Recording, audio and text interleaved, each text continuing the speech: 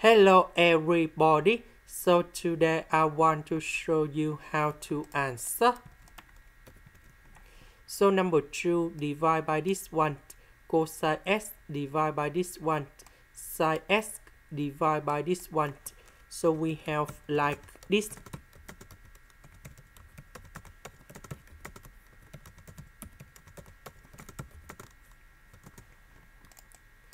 So this one we simplify and we have 1 over sine s.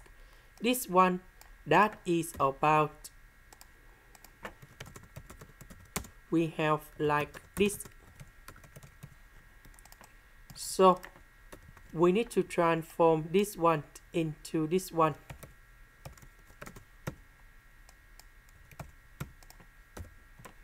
So the integration of this one that is about negative cotangent of s. The integration of this one, we have negative ln of the absolute value of cosecant of s and cotangent s. And now we need to focus on this one.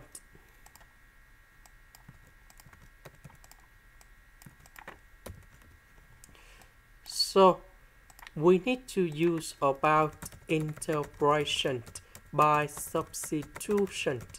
So I will put about u equals to sine s. Later that we need to do first the derivative for the both side and we have like this.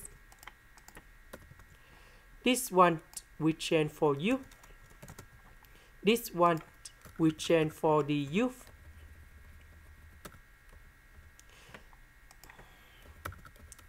So the integration of this one, we have negative number 1 over u.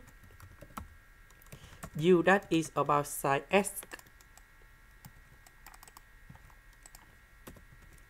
So this one I will put in here.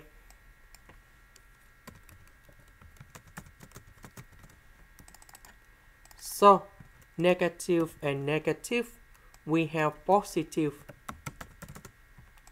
this is the end. Thank you for watching.